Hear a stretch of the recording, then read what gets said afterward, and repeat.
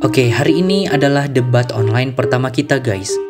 Nanti gua akan sampaikan argumen mengenai satu topik debat, terus kalian tanggapi argumen ini dengan argumen kalian melalui formulir Google Form. Nanti formulirnya ada di deskripsi ya.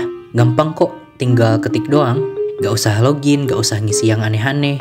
Pokoknya langsung aja lah tulis argumen kalian, kayak ngomen aja gitu. Dan debat ini hanya berlaku dua hari ya. Jika lebih dari dua hari, debat ini akan ditutup dan formulirnya gak akan diterima lagi. Kecuali kalau pesertanya masih dikit, mungkin gua akan perpanjang sesuai kondisinya nanti. Jelas ya? Oke deh, kita langsung aja guys. Ini adalah mosi debatnya. Kalau gak ada agama, kita gak wajib berperilaku baik.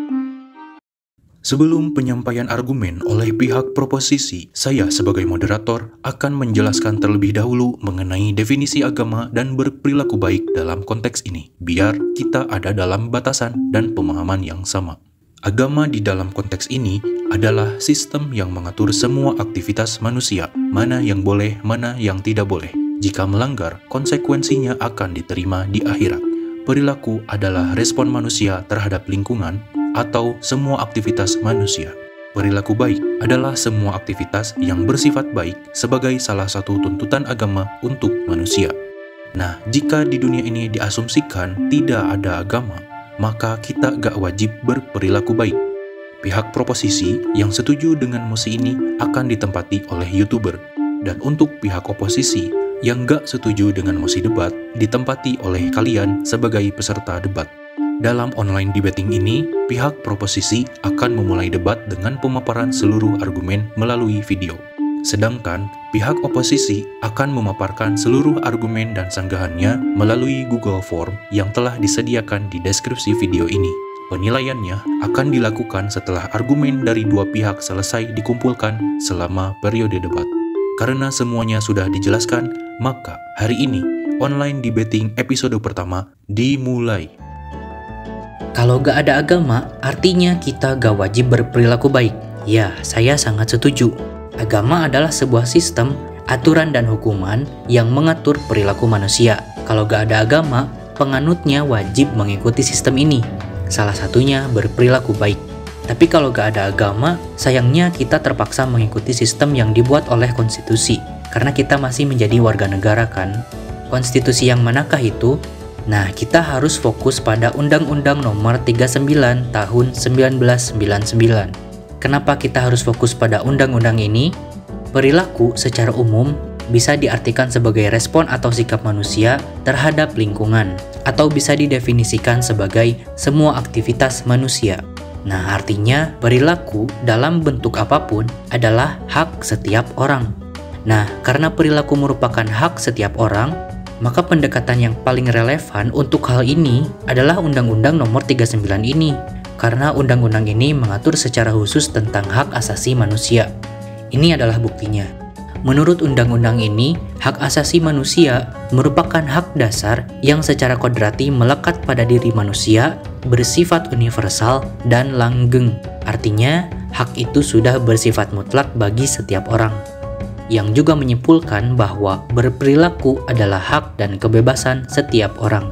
Bahkan di sini ditegaskan kalau hak asasi manusia itu tidak boleh diabaikan, dikurangi, atau dirampas oleh siapa pun. Selain itu, pasal 3 dalam undang-undang ini juga menguatkan asumsi tersebut. Kita lihat di pasal 3 ayat ketiga disebutkan bahwa setiap orang berhak atas perlindungan hak asasi manusia dan kebebasan dasar manusia tanpa diskriminasi. Oke, biar jelas, mari kita rangkum dari awal. Kalau gak ada agama, kita gak wajib berperilaku baik. Agama di sini berarti sistem yang memuat aturan dan hukum mengenai perilaku manusia. Dan perilaku di sini didefinisikan sebagai respon atau semua aktivitas manusia. Nah, kalau gak ada agama, berarti gak ada aturan dan hukum mengenai perilaku manusia. Artinya kita gak wajib berperilaku baik dong. Tapi karena kita adalah penduduk sebuah negara, kita masih harus menaati aturan dan hukum dari konstitusi negara ini. Salah satunya adalah Undang-Undang Nomor 39 Tahun 1999 yang membahas tentang hak asasi manusia. Nah, gimana menurut undang-undang ini? Apakah kita bebas berperilaku Berdasarkan undang-undang ini, hak asasi manusia secara kodrati melekat pada setiap orang.